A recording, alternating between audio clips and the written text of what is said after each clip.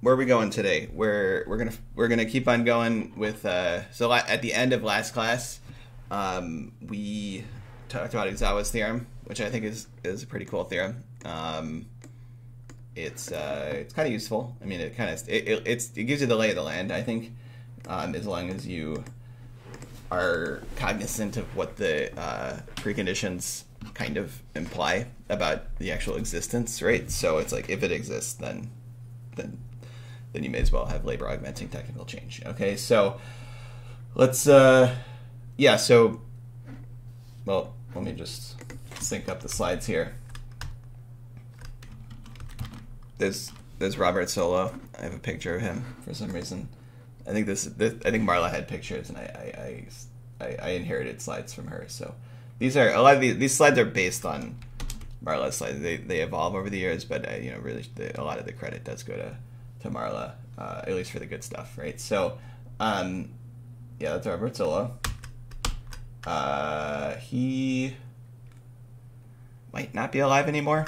I'm not sure if there there should be a date after that dash there, but uh, you know, because he, he would be 97 or 96 probably at this point. So I I think he might have.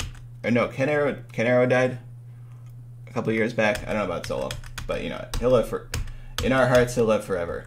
Um, okay, so let's let's speed.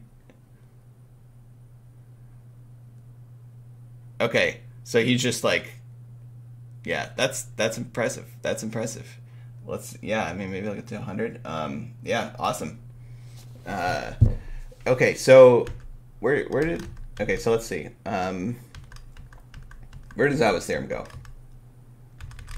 i guess it's farther forward yeah put, okay here we go so that's who's Uzawa's theorem so just the only thing you want to keep in mind is that this precondition about first of all the precondition of it's exactly constant after some capital T is a little bit silly because you would that would only really happen if you started there, um, but it can be weakened to its approximately constant. Okay, uh, but then even that approximately constant growth rate assumption um, on these on these sort of aggregates, um, it has some bite in the sense that it will preclude uh, cases where there is not a constant growth rate or there's a sort of a non-existence of a, a sort of stable equilibrium.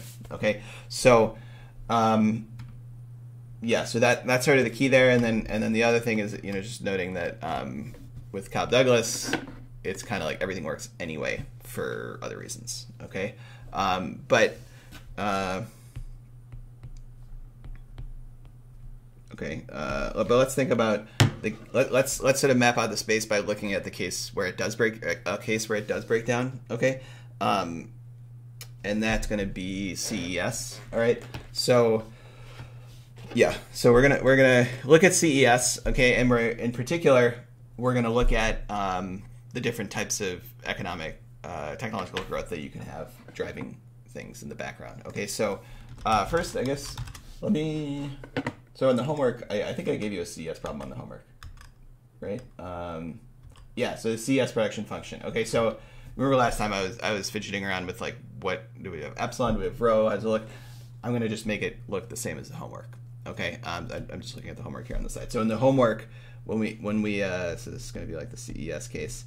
Um, in the homework, when we had constant elasticity of substitution, uh, well, okay, so so we in the homework we we don't have any technological growth. Um, so I'll, I'll, put in, uh, I think KLA, KL, whatever. Um, those are our arguments. Okay, capital labor and technology, and so now Okay, so the question is where do we put A, right? That's that's the going to determine sort of what is driving our technological growth. Okay, I mean first of all, you know, tech, all technology is just the production function is changing. Okay, um, there doesn't always have to be a single real variable that de- that describes technology. Te- technology could be a tuple, it could be a triple, it could be anything basically, right? So, but for the most part, I'm going to be thinking about okay, we have some A that's going up.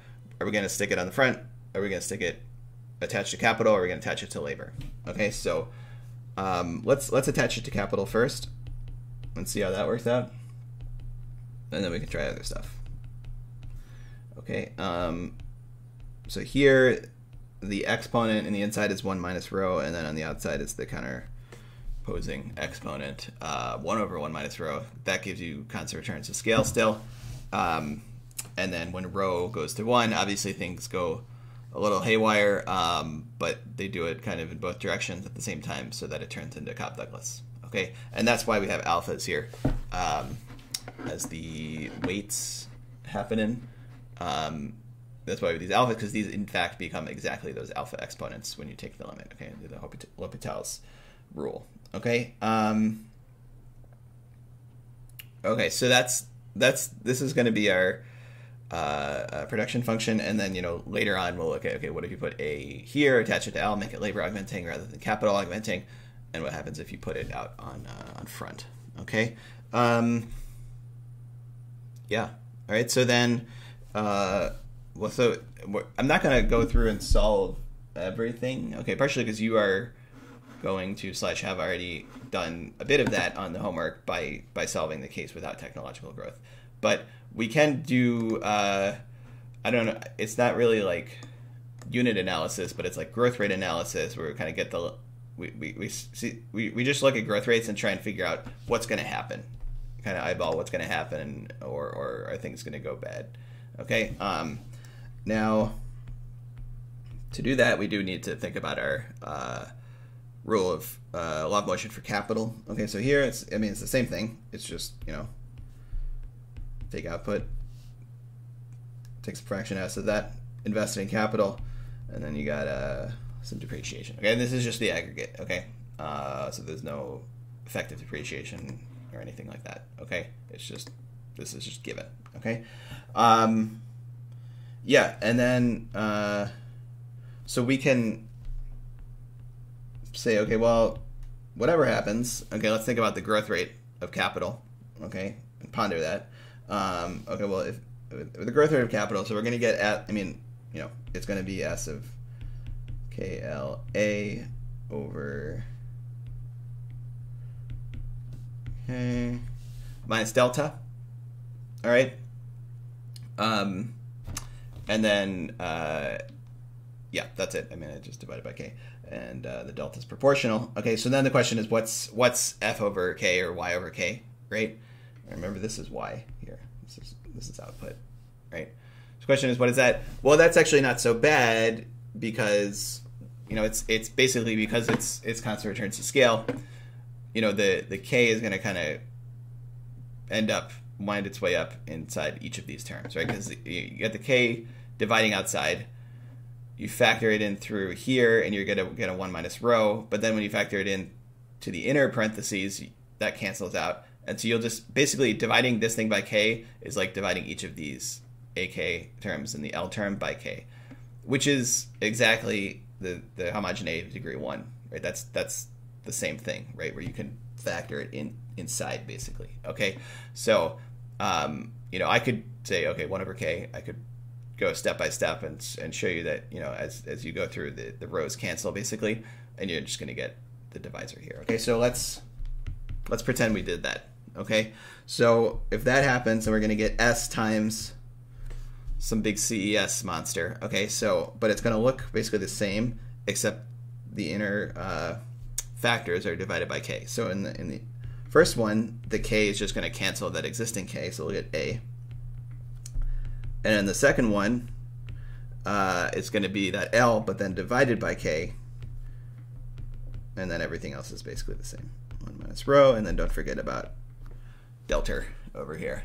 Okay? Um, yeah, so that's that's just like, you know, kind of using that homogeneity or constant returns to scale. We can say, okay, we'll kill off this K by dividing the K, K there and divide K here, and we get L over K. All right? So that's... um that's what we get. All right. So th- so this is saying the growth rate of k is something that's a function of basically a, k, and l. All right.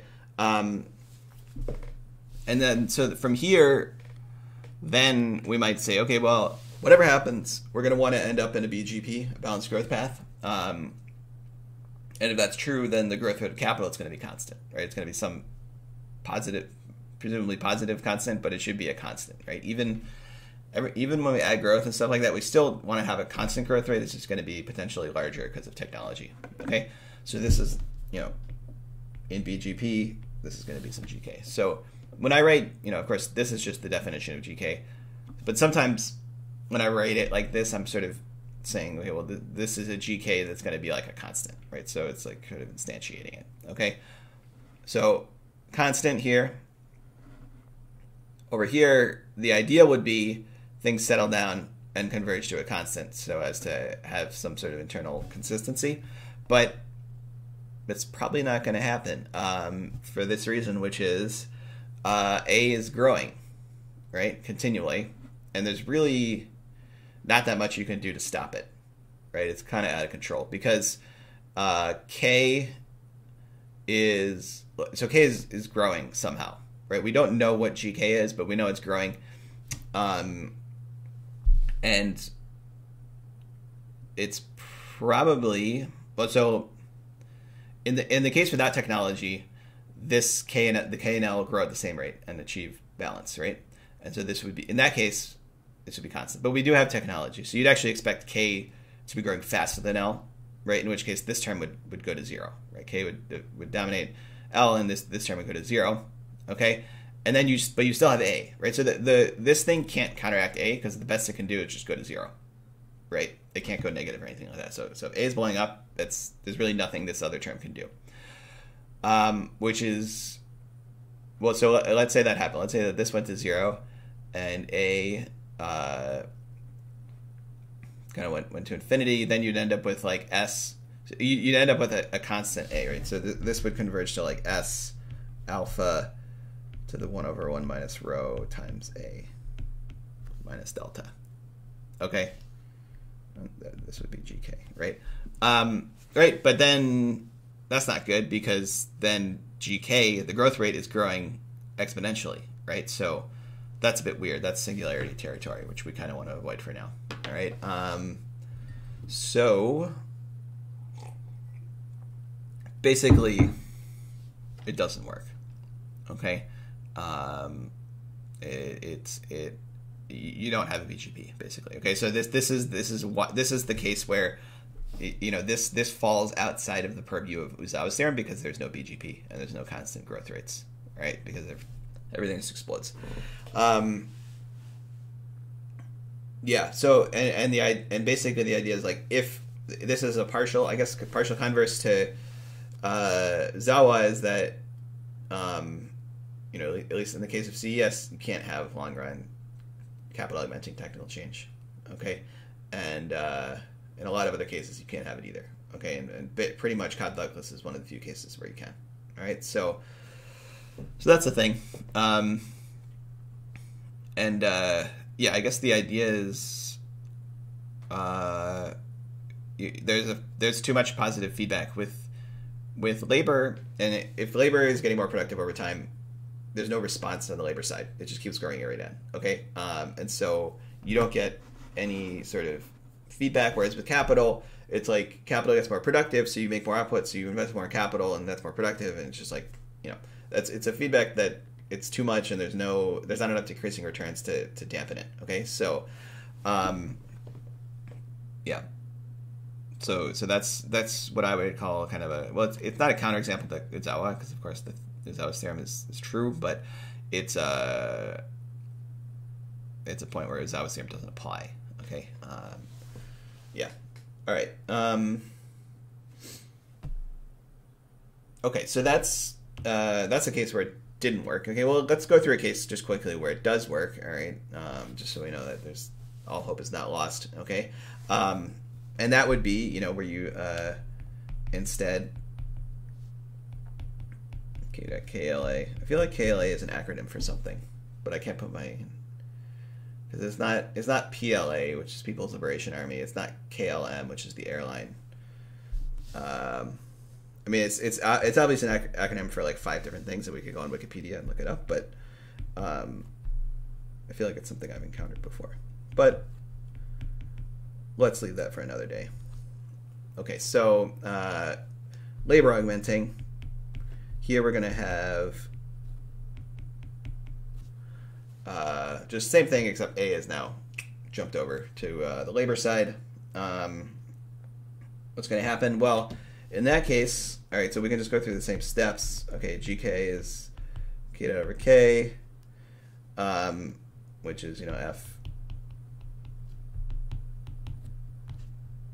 Internally, I'm thinking King's Liberation Army. Whatever that means. I don't know if we're, are we liberating the king? Are we liberating ourselves from the king? Tough to say.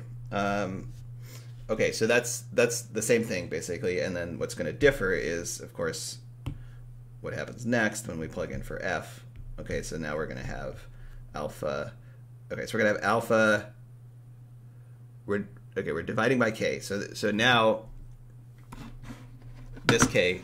Where did my cursor go? This k is going to be a one. Okay, so it's just going to be alpha, and then the second one is going to turn into uh, a l over k uh, to the 1 minus rho, and then all that to the 1 over 1 minus rho, and then minus delta. Okay, so um, similar looking, um, but this one is going to be a little bit more well behaved. All right, and essentially from this, it's like okay, well, GK should be constant. We want to find a BGP. What do we need? Well, in this case, we can get something at least that seems like it's feasible. Okay, which is that this thing is going to converge to a constant, right? So that the GK should be equal, sort of in the long run, to GA, I'll write GA, or sometimes let's write G plus GL, okay, which which often will just end up being written as G plus N. Okay, so so in that case, you can see a clear path forward where K is growing at not, not just that population growth rate, but the population growth rate plus uh, uh, technological growth rate. Okay, and then it turns out we can do that. That's all very doable um, because I don't know it is, and uh, well, it, it works with. Um, we we kind of already see that it's doable. Okay, so um, and yeah, so the good thing here is unlike before where we had that we had n plus g over one minus alpha because it was outside. Just I don't know because of the way the algebra works out, it just comes out as a g. Okay, so so also in addition to being kind of feasible and and and resulting in an extant BGP, it also gives you simpler algebra, and then you just get a plus g. All right. So yeah, so so that'll work, um, and it'll work for other stuff. I mean, you could you know the I don't know what what else, what else is out there. I know. Um, I mean, CES is kind of the most general production function that we're going to look at, and everything that's interesting is usually a special case of CES. So in this case, that would be Cobb Douglas, as we discussed. Um, linear would be rho equals zero. Okay. Uh, you can go to like the so-called AK model by pushing alpha to one and rho to zero. So you get all that. You can get Leontief if you go somewhere, either rho, either plus or minus infinity for rho. I couldn't tell you which one, um, but Leon, you, will get Leontief. In fact, you'll get going to plus or minus infinity with rho gives you min and max, and Leontief is the min. Okay, Leontief is like you need to have these proportions, and if you have like a hundred horses and like two people, like the the ninety eight horses are just gonna wander around like eating grass, right? So like Leontief remembers the min because you, you need to have this proper proportion. The opposite, the max, is uh, it's hard to say. I don't know. I mean, you could imagine there's max. It's more like you have two inputs that you can kind of do the job with, and you, it's you know it's but they can't work together. I don't know. I'm trying to think of a livestock example. You have two types of livestock that don't get along, so you can only use one type. Uh, and so you use the one with more. That's a bit contrived, but there's got to be an example with, with the max. But usually, like the the Leontief min is, is where you see like more reasonable stuff going on. Okay, so um, yeah, uh, so so CES really is the most general thing that we'll look at, um, and and for that kind of stuff, it seems to to work pretty well. Okay, so. Uh, yeah. Uh, let's see. Now, in terms of, and I kind of go. So in the notes, um, I do this exercise, which is kind of cool. I, am not going to go through the whole thing in lecture, just because it's, it's, a bit, it's a bit. I don't know. It's, it's algebra intensive, but not really concept intensive as much. Okay. So uh, I'll just I'll just let you guys check it out. But there is some stuff that I want to kind of go through. Okay. So but but um, yeah, so this is the slide 24 in the notes where it says kitchen sink. So, so we're just, if you're familiar with the phrase, throw the kitchen sink at them or everything but the kitchen sink, something like that. It's like we, you, you just try everything. Okay, so uh, here we're doing you're doing all different types of technological growth at the same time and what happens. Okay. Um, and the only thing I'll add here is we, we have Z, B, and A, which I'm calling them are the, the neutral, the capital augmenting, the labor augmenting. And then there's also this Q, which I haven't really talked about yet, but which is kind of interesting in the sense that it's like showing up in a different spot. It's showing up not in the production function, but in the investment function, kind of. Okay, and so what Q does is it says, usually up until now we've assumed that if you invest one unit of, like if you give up one unit of consumption that turns into exactly one unit of investment or of capital in the next instant or period uh, what q is going to do is is amp that up okay so now it's going to say over time investing one unit uh, in capital is actually going to produce more than one unit of capital or like giving up one unit of consumption is going to uh, give you more and more capital okay so it's called it's like um, like investment augmenting technical change okay um, and so it's like you might think that well, okay, well it's just a normalization factor, so why would it matter? Okay, and it is true that if if it was the case that turning you know giving up one unit of consumption uh, gave you two units of capital, and it was just a constant two over time, yeah, that wouldn't matter because you could just redefine your units and, and cancel it out, or you could just you know, it, it, wouldn't it wouldn't make a substantive difference because the units of capital really aren't specified in, this, in these kinds of models. Okay, so there's there's kind of a degree of freedom there. Um, but if it's growing over time, then that actually does change things. Okay, because the way you kind of, I mean, it changes the growth rates and things like that. Okay. Um, yeah, so that so that's kind of interesting to throw that in there too, um, and you can and you can see how uh, in that case, well, yeah, so in that case, you actually have to um, you uh, how do we do this? So so I do it. I don't do it in the general case. I, I take all the different types of growth, kitchen sink, and say, okay, well, what if it's if it's Cobb Douglas? Okay, and then like how do things pan out? All right. So first of all, we know in Cobb Douglas that you can always combine any anything on the production function side. You just kind of smush over uh, either into one or the one or the other place. In this case, I've switched it over to labor augmenting because we know that kind of works well, um, and then just leave it there as like a, a, a combination factor of all that stuff. Uh, and then the the Q, the investment augmenting technical change, that you have to deal with a little bit separately, and and, and you have to um, normalize both capital and investment in a certain way. But it's it's possible, and you can kind of make everything work out. Okay, so that's that's that's um, what's an example of okay. Well, we need you know we need to what's we need to find out what's the right normalization factor. Okay, um, so it's another example of sort of how do you go through that process. Okay, and and as you know, again, it's it's always the it's always a, a matter of just doing growth rate algebra and making sure thing like just like what we did here to figure out whether it worked or not with CES is find the growth rate of certain things and make sure that they end up constant. Make sure that like ratios that appear in those things that should be constant are balanced uh, in terms of growth, and then you should be all set. Okay, and you can kind of infer your normalization factor from that. Okay, um, yeah. All right, so that's that's basically what we got. Um, and then the, the only other thing really we need to do is, um, you know, we, we went through Solow, we went through Solow with um, population growth, okay, but just you know, you know, just uh, doing Solow with technological growth, okay. All right, so like Solow plus technology, okay. In the sense of like actually solving it. All right, so we kind of we've kind of been dancing around that a little bit, but solving it, it it's going to be very similar to what to what we had before, though. Okay, so um, and we're going to do it with. Uh, labor augmenting technical change. Okay, so we're going to say y is f of. So we're, we're going to.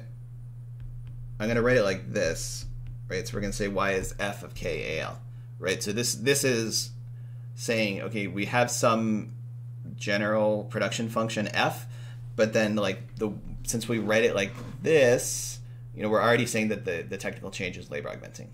Okay, so f is just is a function of two variables that has all the properties that we that we were talking about before, and then we're like applying that function specifically here. Okay, but we're still leaving f general. Okay, and, and we're we're still assuming all the same properties about homogeneity. Okay. Um, okay, so that's that's really kind of well, that's I mean that's that's basically it. And then um, if you think about what uh, what normalization are we going to use? Well, we, we kind of already saw with CES that you know this you know this this is sort of the critical ratio k over al in this case. All right, so we're we're going to use instead of just l, we're going to use a times l. Okay, uh, so just like before when there was l here, we we normalized by l. Now we're going to normalize by al. Okay, so that's going to mean like y over al um, is going to be f k a l over al. Okay, and then because we're uh, homogeneous degree one, again we can we can factor through. Okay, and so this is going to be k over al, comma one. All right, so the same thing except just with an a now. Um, okay, and then we're gonna we're gonna define this as like little f of k over al. All right, so uh, so yeah. Um, now I, I haven't introduced lowercase variables yet, but that you know we have introduced lowercase f, but naturally we're also going to want to introduce normalized lowercase variables um, to correspond here. So sometimes, um, let's see, what did, did I? So yeah, I mean, like last time, I remember when we did this. So, so I mean, th- this is going to give us basically the same answer as last time. But last time I used the tilde. Sometimes I'm going to not use the tilde, and I'm just going to use lowercase y, but like redefine it, okay? Because I just want I just don't want to write tildes all the time. Okay, so in this case, we're just going to define lowercase y to be y over al, lowercase k to be k over al. Okay, so it's just like oftentimes when we get into these more uh, advanced normalizations, we're just going to redefine stuff rather than writing a bunch of tildes all over the place. Okay, so just makes our lives a little bit easier. So just remember that y isn't necessarily always per capita. It's sometimes just like whatever our normalization is. Okay, little y. Okay, so in this case, that's going to mean okay, well, just just kind of moving down. That means that y is equal to you know this thing on the far right here, which is just f of little k. All right, so it's just kind of the same thing that we would see, uh, but because we define new variables, it has a different, slightly different meaning. Okay. Um, all right, and so so that's a production function.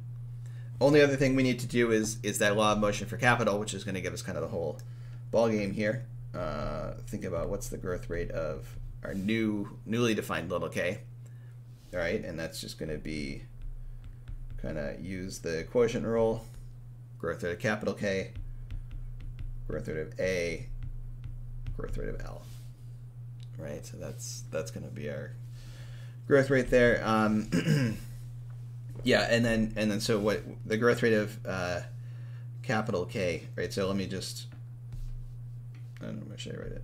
Remember the growth rate of capital K is uh, S. Uh, I guess I'll call it Y for now minus. The, the, the, the rate of change of capital K rather is sy minus delta k, right? So, um, yeah, so so then uh, we can do that, right? So then we're gonna have, you know, I'll kind of write it out here. Growth rate of k. Um, we know the growth rate of a. Well, I didn't say it explicitly, but we're assuming in the background that a is just this, you know, exponential process, just like population growing at rate g. Okay, so these are simple. These are just g and n. Okay. Um, yeah. All right. And then, uh, and actually here, you know, we don't have to plug in for y if we don't want to, right? Because uh, we can just, you know, so this is going to be, just to simplify a bit more, this is going to be s times y over k minus delta minus g minus n. So it's going to be like minus delta plus g plus n combined there. Okay, so we can just leave it at that, and uh, it doesn't really matter exactly what um, what y what the production function is at this point. Okay, and then and then because we defined the normalization factor on y and k to be the same a, al right or one over al, uh, then this is just going to be you know s times little y over. So divide top and bottom by AL, and you're going to get that. Same thing here. Okay, so yeah, and then and then remember this is that growth rate k. All right. Um, yeah, and then the last thing we do is just uh, multiply the k back, and so we're going to k dot is s times y minus delta plus g plus n times k. All right. Um, and then the, and the very last thing we do is just note that y is just f of k, right? So this is s f of k minus delta plus g plus n times k. All right, so so that's our that's our law of motion. Okay. Um, same thing we same thing we had last time, except this is just g instead of g over one minus alpha. Okay, just slightly simpler with with if you just go ahead and directly assume labor augmenting by sort of invoking Uzawa's theorem. Okay. All right, so that's it. Um, from there, we can do everything. Uh, we can we can do graphical analysis. Um, same, it's going to look exactly the same, right, as we as we've seen before. The only difference is the technical, you know, sort of algebraic value of that depreciation line is going to be, you know, that new is not to have the one over one minus alpha, but like exactly the same in terms of the interpretation, everything like that. Okay, so. Um, yeah, I guess that's uh, I think that's it basically for Solow. Um, you guys got any issues with that? Questions? No, you're good. All right, that's what I thought. Um, okay, so then what to do now? Okay, so like uh, yeah. Um, Okay, we have a slight LaTeX error in the slides, but I'll fix that. Um, at this point, I mean, so so now that we're kind of like through kind of the, the, the intro Solow, I think we sh- we have a, you know, this this this gives us a good idea of just how to work with uh, relatively mechanical continuous time models. Okay, um, the next step is going to be thinking about optimization, right? uh, and, and going to, more towards this this Ramsey model. Okay, um, I guess there's some. I mean, there's some stuff I do want to get out of the way in terms of working with continuous time, especially with differential equations. Okay, um, and I guess from there we can, yeah. Uh, yeah, so I'll I'll do that, and then we and then we can transition to Ramsey. Okay, and so this and this is. This is stuff all at the end of uh, basically at the end of lecture. I don't know, lecture two, which is the the Solow uh, lecture. Okay, um, so we'll do we'll do this, and then we can move on to uh, the to Ramsey stuff. All right, um, and then I guess the other thing is in terms of what we're going to cover farther in the future. Um, I do want to have some computational component here in terms of like actually computing uh, output from the models that we're studying here because most I mean you know, if if you do macro, which I understand that most will not, uh, you're probably going to be computing these models. I mean, you're probably not just going to be doing all highfalutin theory. Um, you're going to be computing stuff partially because that's just what the field demands, and partially because that's like what more kind of what we do here at Pitt and, and really in most places. Um, so so that's one thing. But then if you don't do macro, which is awesome too, uh, then you're probably going to be computing stuff anyway. It, maybe you're not solving a huge structural macro model, but maybe you're solving a huge structural micro model, or maybe you're just you know doing experimental. Maybe you have uh, you know at the end of the day, there's a really high chance that you're going to probably need this stuff. Um, and uh, yeah, and and if it's on the more empirical side, then actually there's a lot of overlap. I think um, between, especially the, the level of tools, there's a lot of overlap there. Uh, so I yeah, I mean I think almost surely anything we do here in computation will be useful in some way, unless you're if you're already like 100% computational master, then I guess there's nothing I can teach you. But um, you know, probably I'm guessing uh, for for for most people this is there'll be stuff that's generally helpful, not just helpful for macro. Um, okay, and I think um, I don't know if it's better to do in, in if we're in a remote setting. Is it is it? I, I I was thinking maybe it's better in the sense that you can kind of see uh, by, computing the out, output of models. I think you often achieve a better understanding of them. Okay, uh, by seeing specific outcomes, by being able to in real time kind of tweak things and see what happens, um, and perform sort of like mini ex- theoretical experiments. Uh, I, I, think it helps. Okay, so I don't, I don't know if that's better or worse in a in a um, remote setting. I, but you know the computational stuff is stuff that it, it kind of already remote. Like if, if you're you know, if you're doing stuff on a, a, Python notebook in the cloud, it's already kind of inherently remote, so it's it's no harder or easier. Okay, so um, yeah, so we're going to do that. I guess at some point I'll I'll, I'll do a uh, you know sort of intro tutorial, and then we can we can move into computing you know, Solow or, or Ramsey or whatever we end up doing. Okay, um, yeah, so that's the plan. Uh, all right, so so now um, we're gonna do a little diffie-q. All right. Uh, let's start a new page here. Um, imagine you guys have seen diffie-q in some form or another at some point. Um, we're not to use the most advanced stuff from that. Okay, most most everything we're going to be doing is relatively simple diffie-q, so I can just cover I can just kind of cover it here, right? Um, and and then so so so we'll be basically self-contained in that sense. All right. Uh, okay, so so we're doing some diffie-q. Okay, the reason, I mean, now think about it. We, we, we have been doing diffie-q, right? We have been doing, you know, k dot equals some function of k. That's a differential equation, right? We've been thinking about steady states and just kind of drawing graphs and, and thinking about that. But like, if, in principle, we could uh, solve those differential equations and come up with explicit functions for like k of t equals blah. All right. Now, one of the pro- the problem is that in almost every case, there's no closed form solution, at least that I know of, for this kind of stuff. But you know, maybe I don't know if you do some kind of path integral thing. I don't know. Maybe you could do it. I'm not sure. Um, but for us, we're gonna we are gonna need sort of um, this not just for thinking about Solow, but also once we go towards Ramsey, then we we actually do need to occasionally solve uh, relatively simple diffie-qs as, as part of the process. Okay.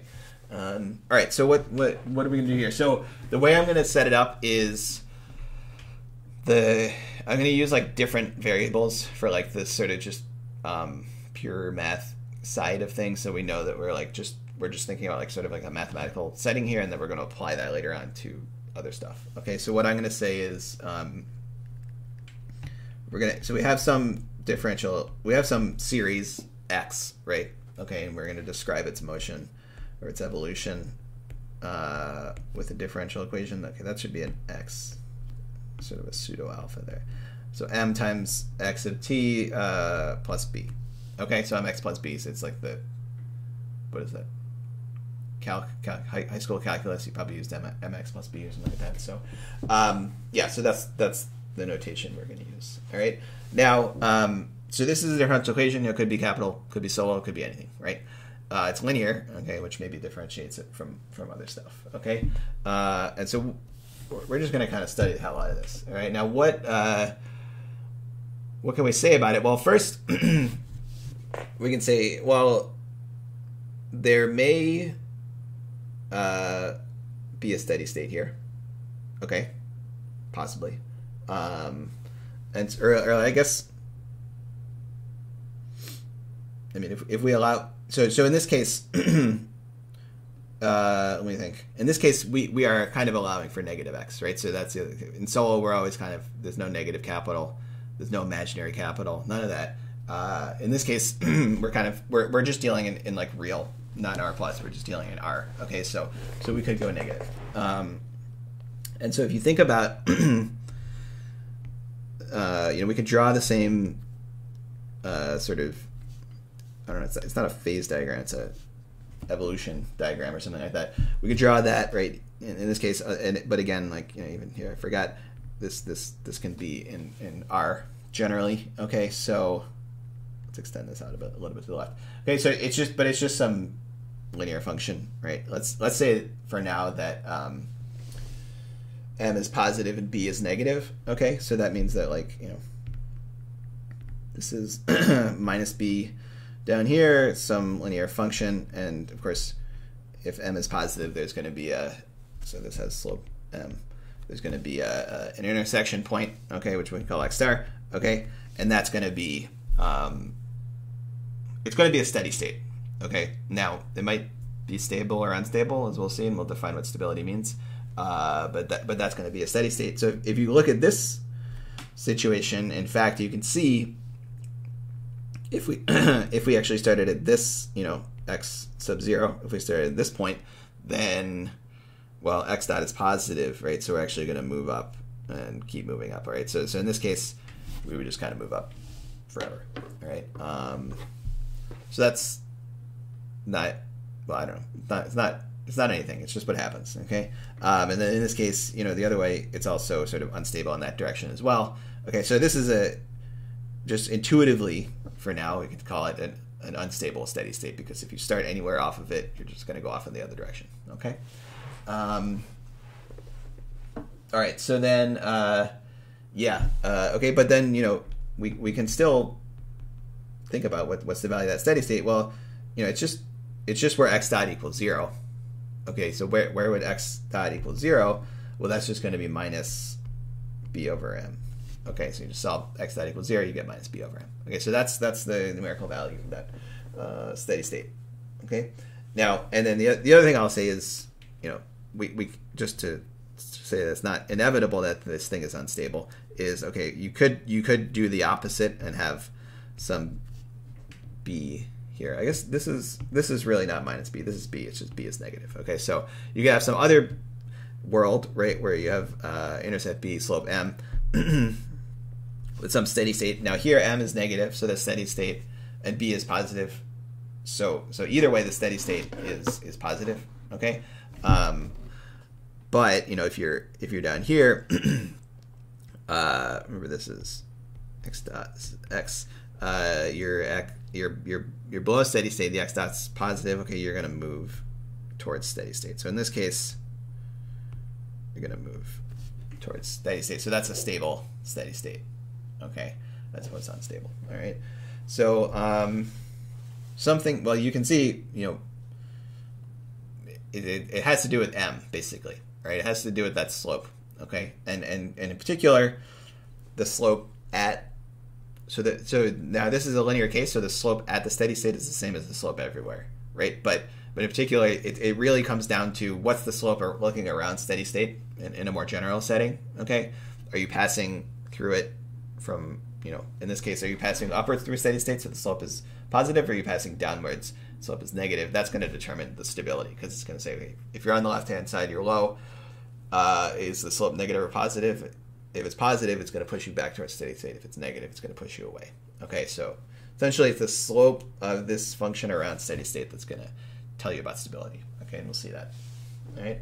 Um, okay and then uh, yeah, I mean, and then the other thing we can do is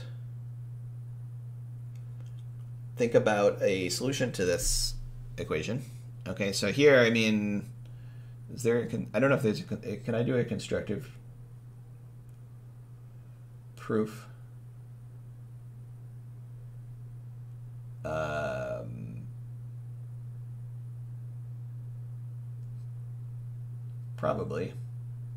Yeah, I mean, I, I could I could try to do that one of those constructive proofs, but or I could just say like here's a here's an answer and let's check. I guess and check. I guess you would call it. All right, so let's let's just do guess and check for now. Um, okay, so uh, and then what? Yeah, so I, I guess I'm calling it. I'm just going to call it x of t.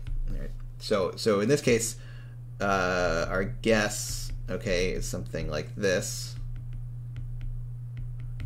All right, and basically we're saying, you know, this, remember this is this is x star as you can see, right? We're just saying it's x star plus some exponentially growing or shrinking term.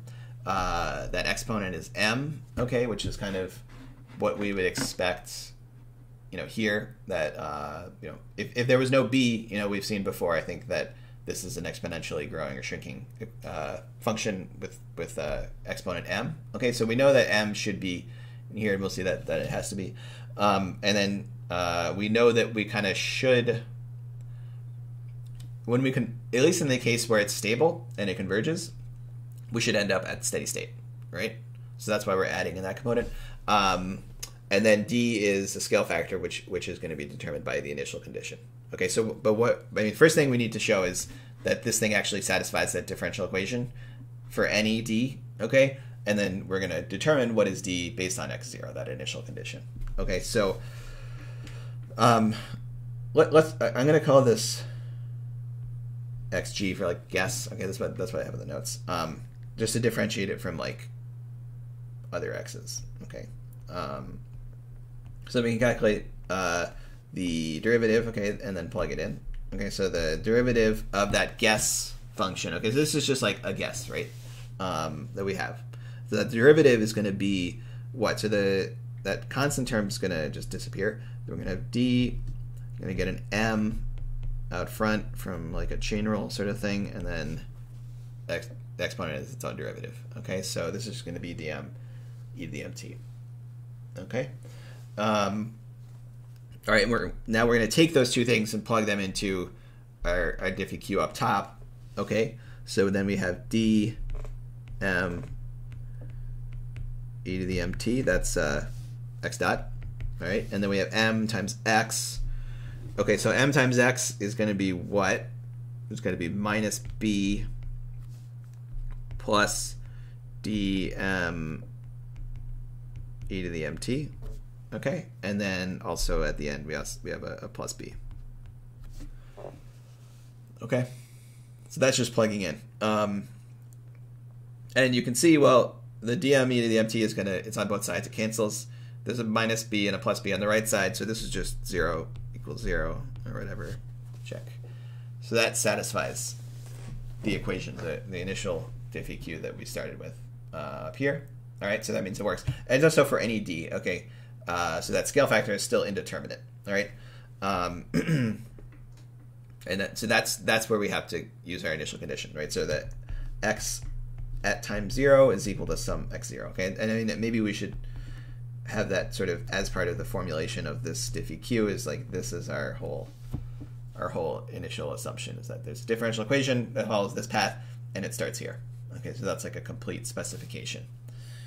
All right, so um, that's going to give us d. So now all, we have to do is say, uh, you know, so like, so we, we know that this thing satisfies the diffie q, and then we just have to say, okay, well, what is xg at 0, well, that's going to be minus b over m plus d. Okay, and that, that exponential term is going to be a 1 because t equals 0. Okay, right? And then we're saying that this should be equal to x sub 0. Okay, so x sub 0 is just like a number. Okay, that's where we start. All right. Okay, so that and that's that's x sub 0, and so that means that you know inverting, you know, we want to find d. So this says that d is equal to x sub 0 plus b over m. Okay, which is also because b over m is minus x star, our steady state, this is x0 minus x star. Okay, so the difference between where you start and steady state, which is, we'll see, it, it kind of makes sense. Okay. All right, so that's um, that's D, and now, now we basically have it, right? Okay, now we can say, okay, our X, like the actual answer, so I'll drop the G, is uh, minus B over M plus that D now we know is X0 plus B over M times E to the MT.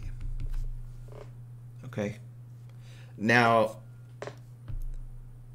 we can also sub in for x star. Okay, and I think I mean that's much more intuitive. I think this says that it's looks like this. Um,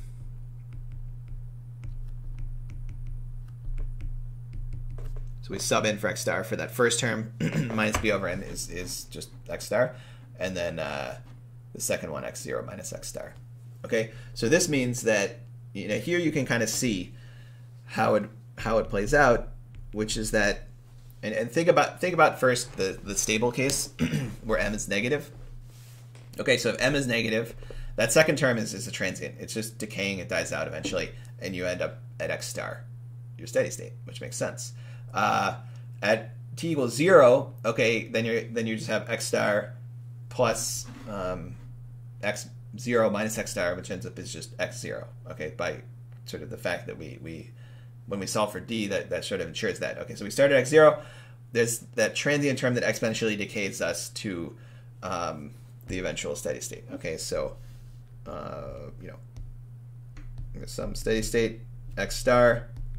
We got x zero, and it's just going to look like this, exponentially decaying, right? Um, it could be the other way around. It, you know, if, if you started, I guess this should, this, should be a x sub zero. So if, if you started low, you know, that uh, that x zero minus x star term is going to be negative. Okay, and so then this would look more like that. Okay, so like that. All right, so you're gonna whatever way you start, you're gonna converge to x star exponentially. Um, okay, that's good. Uh, so that's but this is negative m right now with positive m. You know, you still start at x zero, but then you just kind of go out to infinity. Okay, and so the the other way to, to sort of factorize this is, um, is to think about it is you, so you can refactor this as x zero times e to the mt plus um, sorry x star times uh, 1 minus let me make sure that's right.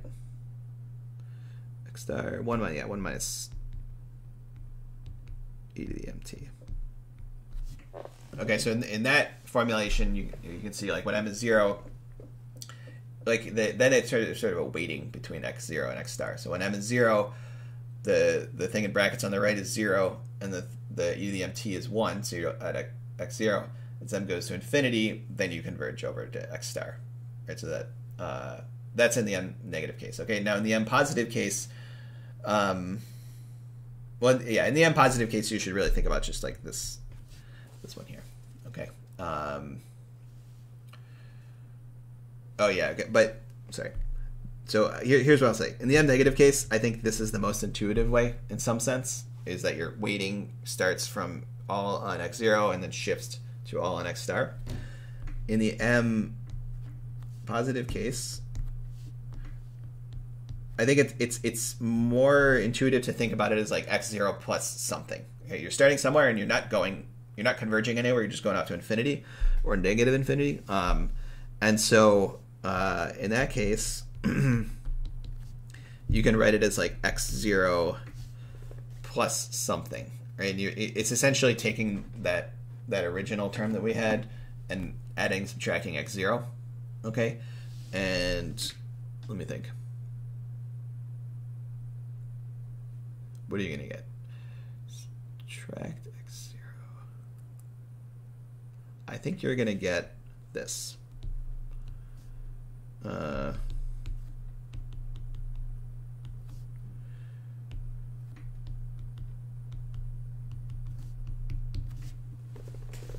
let's see. So as uh, empty. I think that's right. Okay, so you're gonna start. yeah. Yeah, so so yeah, I don't know. Um, maybe this isn't so intuitive, but you're gonna start at x zero, and then as t goes to infinity, this term on the right is going to explode. Okay, um, and you're going to go off uh, that direction. Now, uh, okay, so I guess.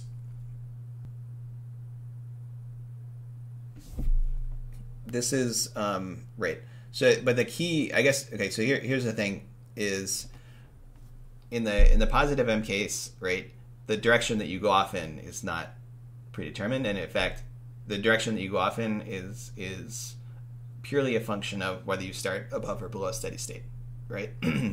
so you, you are diverging, right? So you're uh, you're not converging like in the first case. You're diverging, and you might go high or low, depending, right? And you, you know, we saw up here whether you go high or low ends up being just you know, did you happen to start below x star, or did you happen to start above x star, and you just diverge in either direction, depending where you started. Okay, and so here you can see that's kind of encoded algebraically.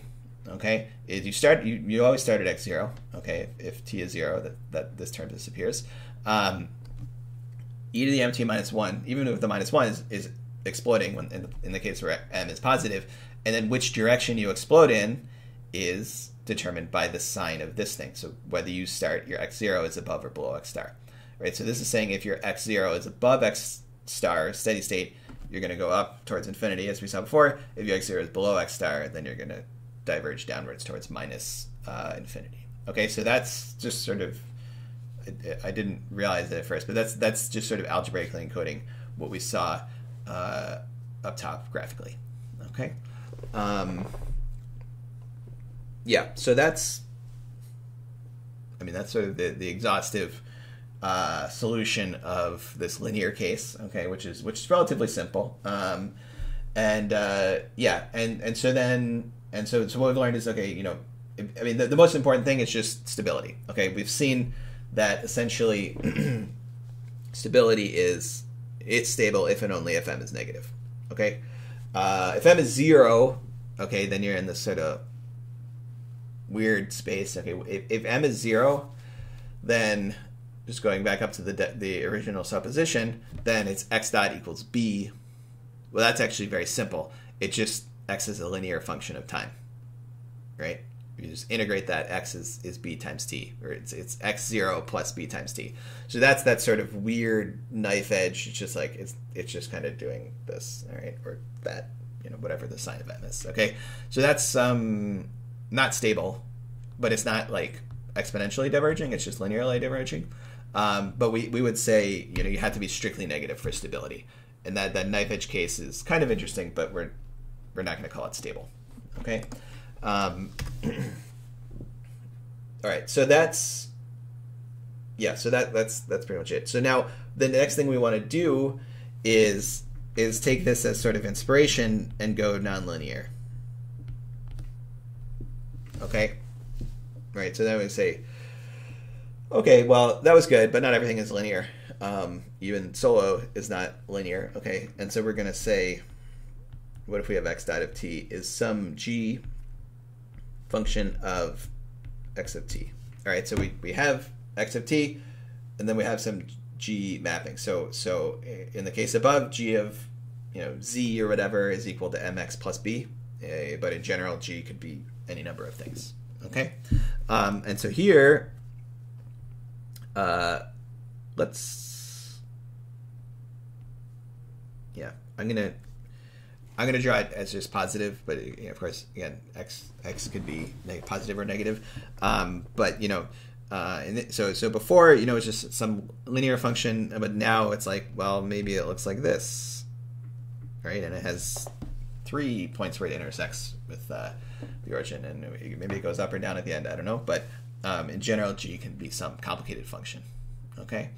Um, all right, and so then what do we what can we say? Well, we can say there is there are steady states, okay? Potentially. Maybe not, but maybe there are and maybe there are multiple. Uh, where g of x star equals zero. Okay, so that would be these points here. In this case, there's three. Okay, um, that's one thing. Okay, so that, so that's like so X star now is not a specific object; it's a, a stand-in for one of the steady states. Okay, um, we're going to assume okay, yeah, G differentiable, continuous, everything.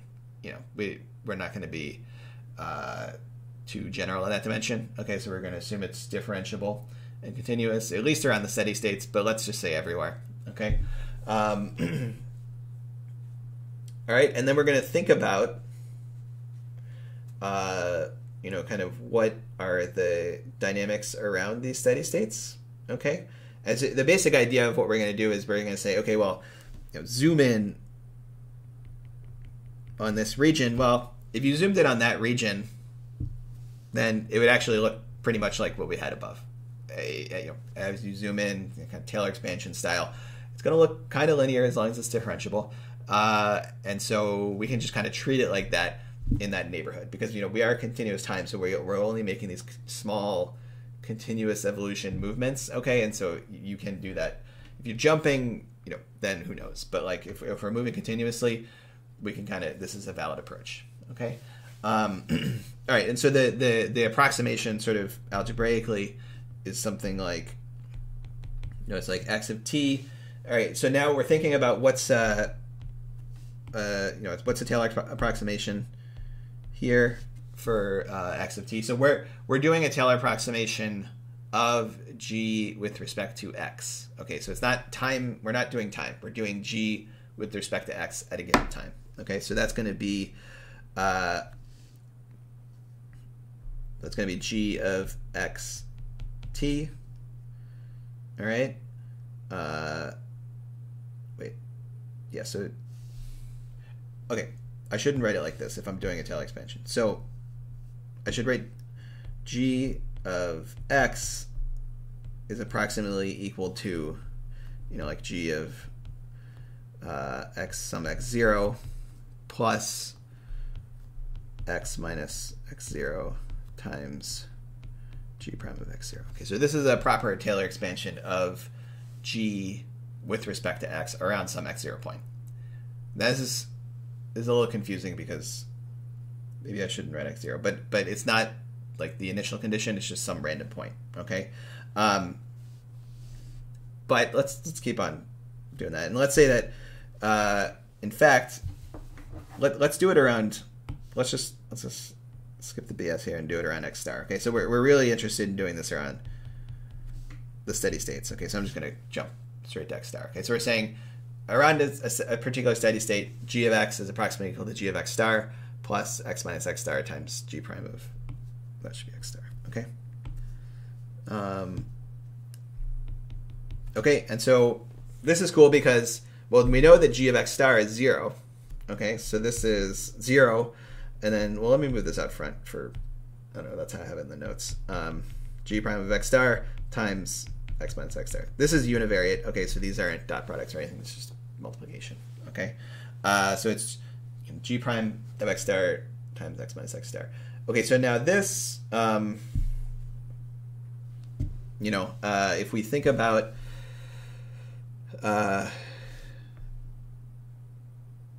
the um, so th- this is just sort of like general for g of x. Now we, we can apply this and say, let me, uh, since I'm at the end of the page here, we're at basically at the end of the class, I'll just say, okay, we're going to apply this, you know, for x of t, okay? So now I'm just saying that like x of t, x dot of t is equal to g of x. Okay, so this is going to be g approximately equal to g prime x star, and then this, the only difference is this is xt minus x star. Okay, so I just took that and let's said and just like applied it to x dot and x of t. Okay, so so this is like our approximate Taylor expansion DVQ, and this is linear, right? This is you know m is uh, g prime of x star, which is just a number, right? Remember, it's a derivative, but it's a it's evaluated at a specific point, so it's just a number. Uh, and then b is uh, g prime of x star um, uh, times x star, and also there's a minus sign there. Okay. Right? And so now you can see, well, remember before the steady state was minus uh, b over m. In this case, if you evaluate minus b over m, you just get x star, which is good because that's that's self-consistent. Okay. And then the other thing is that you know our critical parameter m is now g prime of x star. Okay. So now with this, if you want to think about stability in a nonlinear setting locally, okay, then you say, okay, well, what is g of x? Maybe it's some quadratic function or something like that. In this case, I guess it's cubic. Um, find the derivative. You know, you can do it analytically. Evaluate it at that steady state, and that gives you a thing, like a number, and that tells you whether it's stable. Graphically, all it's saying is, or in that neighborhood, is m negative. Okay, so in this neighborhood here, in the middle steady state, m is negative. So this is stable, and you can see like if you were to deviate to the left, it's positive, it's going to push you back. Okay, so this is going to, oops, disaster. This is gonna push you back towards that steady state, whereas these ones are gonna push you away. Okay, um, so the the first and the third steady state are unstable. That second one in the middle is stable. Okay, um, right, I'm gonna end in a second because I, I I'm gonna I, I, owe you guys five minutes. Okay, so or seven minutes, I guess.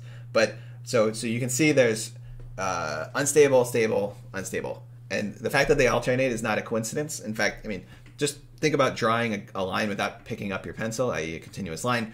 If you cross up, the next time you have to cross down, and so on. Okay, so it's just sort of inevitable that there's going to be alternating stable and unstable steady states because of continuity.